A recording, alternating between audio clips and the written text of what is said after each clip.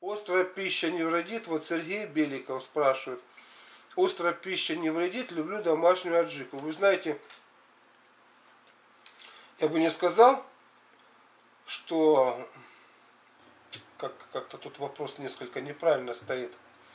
Не вредит. Э, любое чрезмерное действие, особенно, допустим, вкусов пищи, если чрезмерно, оно постепенно, а то бывает порой резко, сдвигает ваши жизненные принципы из сбалансированного состояния в несбалансированное.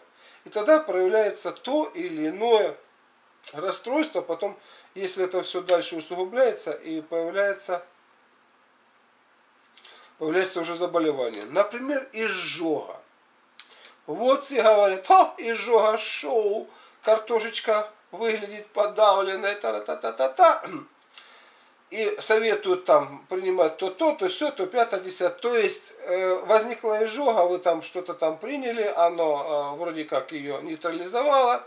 И все, дальше там продолжаете э, на следующий день тоже и пищу принимать, те же вкусы принимать, и у вас изжога появляется вновь. А, вы опять это применяете. Так вот, изжога есть не что иное, как перевозбуждение жизненного принципа желчи. А желчь перевозбуждает желтое, перевозбуждает жгучее. Вот эти вот в основном два качества. Желтое и жгучее. Казалось бы, жгучего нету в меде. Но я по себе знаю. Переел меда, у меня появляется изжога. У меня раньше была изжога, я не знал, как от нее избавиться. Понял вот этот механизм, понял механизм. Я просто стал регулировать работу своего организма и не допускать, не доводить до изжоги.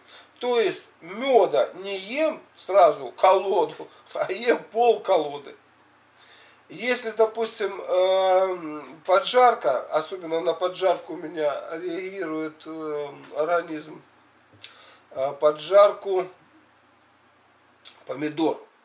Вот этот вот получается такой вот э, не желтый, а вот этот красноватый э, цвет этой поджарки, да, она несколько, как бы сказать, остренькая. Я бы не сказал, что чрезмерно, но тем не менее.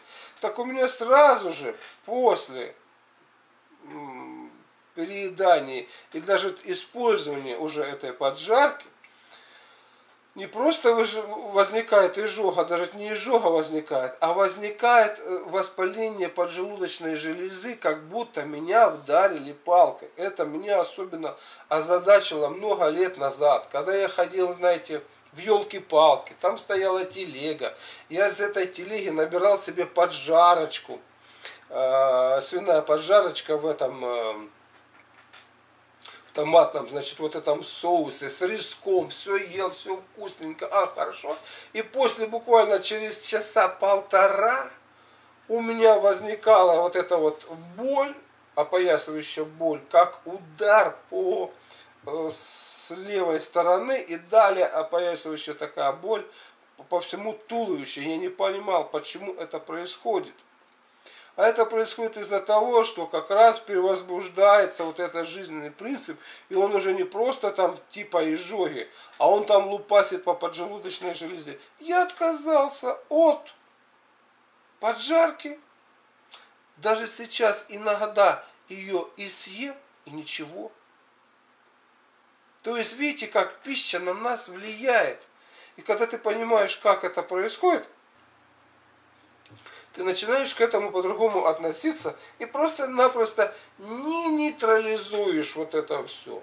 Какими-то там таблетками там э, запиваешь, какими-то там э, составами э, нейтрализующими.